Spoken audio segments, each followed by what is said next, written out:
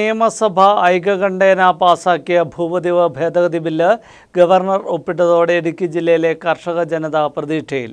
നിർമ്മാണ നിരോധനമടക്കമുള്ള പ്രശ്നങ്ങളിൽ പരിഹാരം കാണാൻ കഴിയുമെന്നാണ് പ്രതീക്ഷിക്കുന്നത്.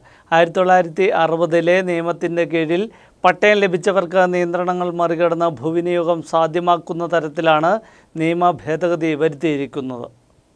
ഇടുക്കി ജില്ലയിലെ ഭൂപ്രശ്നങ്ങൾ നിർമ്മാണ നിരോധനം എന്നിവയ്ക്ക് പരിഹാരമാകുമെന്ന കരുതുന്ന നിയമസഭ ഐക്യകണ്ഠേന പാസാക്കിയ ഭൂപതിവ് ഭേദഗതി ബില്ല് ഏഴ് മാസങ്ങൾക്ക് ശേഷം ഗവർണർ ഒപ്പിട്ടതോടെയാണ് ഇടുക്കി ജില്ലയ്ക്ക് പ്രതീക്ഷ വർദ്ധിച്ചത്.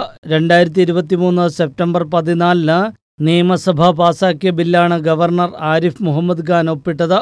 ബില്ല് പാസ്സാകാത്തതിനെ തുടർന്ന് വൻ പ്രതിഷേധങ്ങളടക്കം ഇടുക്കിയിൽ അലയടിച്ചിരുന്നു. ഗവർണറുടെ നടപടിയിൽ പ്രതിഷേധിച്ച് ജനുവരി ഒൻപതിന് രാജ്ഭവനിലേക്ക് എൽ ഡി എഫ് പ്രതിഷേധ മാർച്ചും നടത്തിയിരുന്നു. അന്നേ ദിവസം വ്യാപാരികളുടെ പരിപാടിയിൽ പങ്കെടുക്കാൻ ഗവർണർ തൊടുപുഴയിലും എത്തിയതിനെ തുടർന്ന് എൽ ഡി എഫ് ഹർത്താൽ ആചരിക്കുകയും എസ് എഫ് ഐ ഡിവൈഎഫ്ഐ പ്രവർത്തകരുടെ നേതൃത്വത്തിൽ കരിങ്കൊടി കാണിക്കുകയും ചെയ്തിരുന്നു.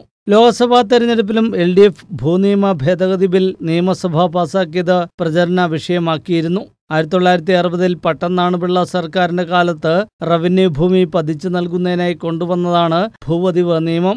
ആയിരത്തി തൊള്ളായിരത്തി അറുപത്തിനാലിൽ ആർ ശങ്കർ മുഖ്യമന്ത്രിയായപ്പോഴാണ് ഭൂപതിവ ചട്ടങ്ങൾ പ്രാബല്യത്തിൽ വന്നത്. ഭൂപതിവ ചട്ടം നാലിൽ ഭൂവിനിയോഗം കൃഷിക്കും വീട് നിർമ്മാണത്തിനും മാത്രമെന്ന വ്യവസ്ഥ ചെയ്തിട്ടുണ്ട്. ഇതാണ് നിർമ്മാണ നിരോധനത്തിലേക്ക് നയിച്ചത്.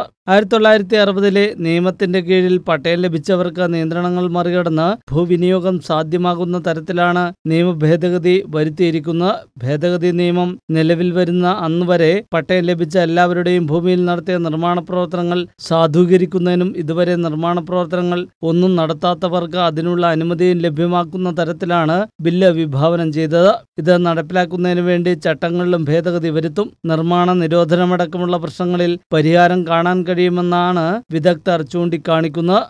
News desk media net.